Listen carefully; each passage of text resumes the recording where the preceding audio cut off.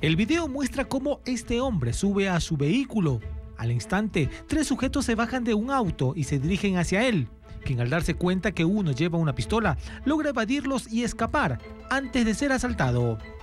Esta clase de eventos, según los habitantes del sector Los Laureles, es frecuente, más aún cuando decenas de locales comerciales se asientan a lo largo de la avenida Eloy Alfaro en el norte de Quito.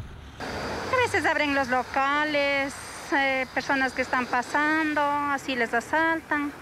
Doña Marcia, por ejemplo, fue una de las víctimas. Varios delincuentes ingresaron a su vivienda para robar sus pertenencias. Se metieron al segundo piso de mi casa, se entraron por la ventana de la cocina y se nos entraron. ¿Qué se le llevaron? se llevó pocas cosas en realidad. No alcanzó a, llevarse mucho porque como era segundo piso creo que no tenía por dónde bajarse. Los propietarios de los locales aseguran haberse unido para tomar medidas de seguridad.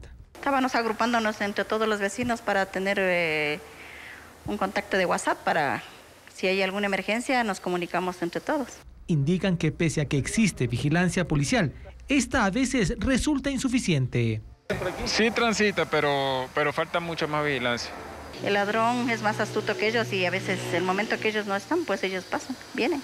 De ahí que solicitan más resguardo policial en horas de la noche, cuando aprovechan el estado de excepción para hacer de las suyas.